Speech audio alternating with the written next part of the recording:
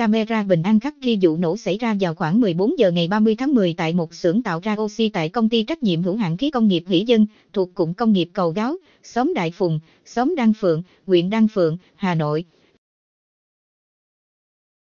Hình ảnh từ clip cho thấy hai công nhân đang làm việc trong xưởng thì một bình oxy bất thần phát nổ, ngọn lửa lớn bùng lên trong giây lát rồi tắt, khí bay mù mịt. Khoảnh khắc bình oxy phát nổ, lửa bùng lên kinh sợ hoàng khiến hai người tử vong. Hậu quả là hai người tử vong tại hiện trường, một người khác bị yêu thương rất nặng. Hai nạn nhân tử vong đều có hoàn cảnh gia đình khó khăn. Khoảnh khắc đời án ảnh này dẫn kế tiếp gây xôn xao trên mạng xóm hội. Nguyên nhân của vụ việc đang là câu hỏi lớn nhất.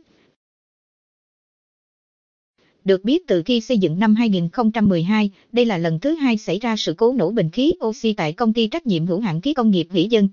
Vụ nổ trước tiên xảy ra cách đây 5 năm, may mắn không có thiệt hại về người.